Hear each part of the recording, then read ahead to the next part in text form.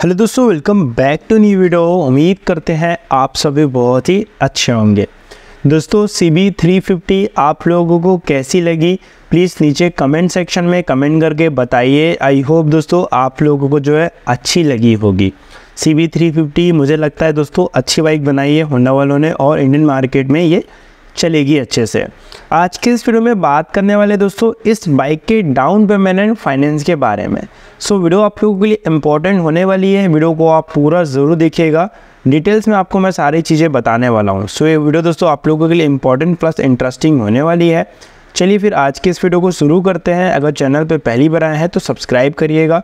Bell के icon को on कर लीजिएगा ताकि ऐसी ही इंटरेस्टिंग वीडियो की नोटिफिकेशन भी आप तक पहुँचते रह सकें। चलिए आगे बढ़ते हैं। सबसे पहले बात कर लेते हैं बाइक फाइनेंस कराने के लिए कौन कौन सी डॉक्यूमेंट्स की नीड पड़ती है। दोस्तों बाइक फाइनेंस कराने के लिए सबसे पहले आधार कार्ड की ज़रूरत पड़ती है। आधार कार्ड के बाद दोस्तों पैन कार्ड की ज़रूरत पड़ती है। पैन कार्ड के बाद दोस्तों बैंक पासबुक की फ़ोटो कॉपी लगती है, जिसमें आपकी सैलरी आती है। ध्यान रखिए, वही फ़ोटो कॉपी लगेगी जिसमें आपकी सैलरी आती है। उसके बाद कुछ फ़ोटोज़ एंड कुछ साइन के बाद जो है आप अपनी बाइक को फाइनेंस करा सकते हैं। ठीक है, चलिए आगे बढ़ते हैं, बात कर लेते हैं बाइक के प्राइस के बारे में।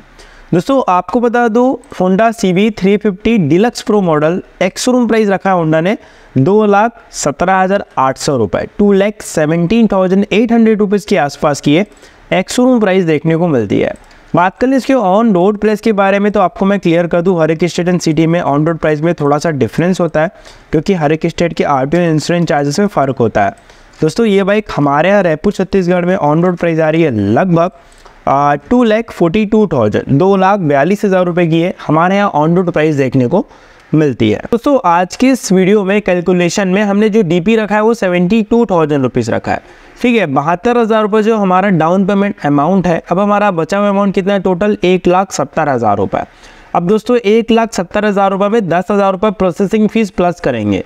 ज़ाहिर सी बात है, आप बाइक फाइनेंस करा रहे हैं तो भैया प्रोसेसिंग फ़ीस तो देना पड़ेगा। अब प्रोसेसिंग फ़ीस डिपेंड करता है कभी कभी बट दस हज़ार रुपये के आसपास का लगता है। ठीक है मतलब एक लाख सत्तर हज़ार के फाइनेंस में। अब आपका टोटल अमाउंट कितना हो गया? एक लाख अस्सी हज़ार रुपये आप निकालेंगे दोस्तों रेट ऑफ़ इंटरेस्ट यानी कि ब्याज निकालेंगे। देखिए, जब भी फाइनेंस करा रहे हैं तो ज़ाहिर सी बात है भाई, कोई भी कंपनी हमें फ्री फोकट में फाइनेंस करके नहीं देगी। वो हमसे कुछ ना कुछ तो लेगी ना।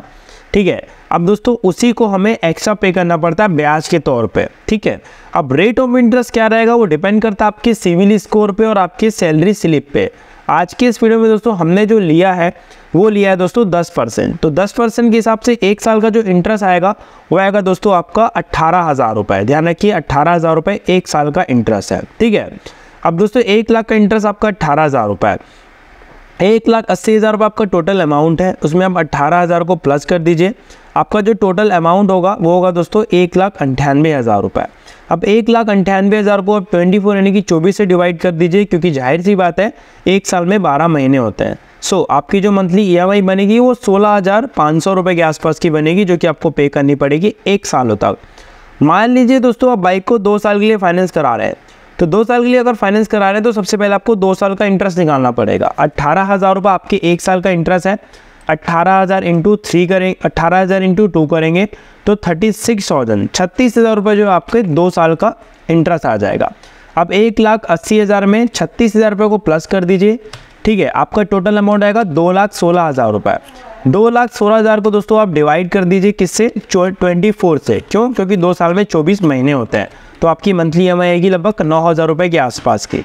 मान लीजिए आप बाइक को तीन साल के लिए फाइनेंस करा रहे हैं तो तीन साल के लिए आपको सबसे पहले तीन साल का इंटरेस्ट निकालना पड़ेगा। एक साल का इंटरेस्ट आपका अट्ठारह हज़ार रुपये अट्ठारह हज़ार इंटू थ्री कर दीजिए तो कितना हो जाएगा? चौवन हज़ार रुपये चौवन हज़ार रुपये आपके तीन साल का इंटरेस्ट है। अब एक लाख अस्सी हज़ार में आप चौवन हज़ार को प्लस कर दीजिए, आपका टोटल अमाउंट हो जाएगा दो लाख चौंतीस हज़ार रुपये दो लाख चौंतीस हज़ार को आप थर्टी से यानी कि छत्तीस से डिवाइड करिए, क्योंकि तीन साल में छत्तीस महीने होते हैं।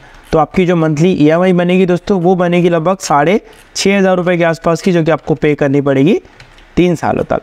सो ये था दोस्तों brand new Honda C B three fifty का complete down payment and finance video I hope दोस्तों आप लोगों को वीडियो अच्छी लगी होगी, वीडियो अच्छी लगी तो लाइक करना चैनल पे पहली बार आए तो सब्सक्राइब कर लेना। मिलता है दोस्तों फिर नेक्स्ट वीडियो में। लव यू ऑल जय हिंद, वंदे मातरम।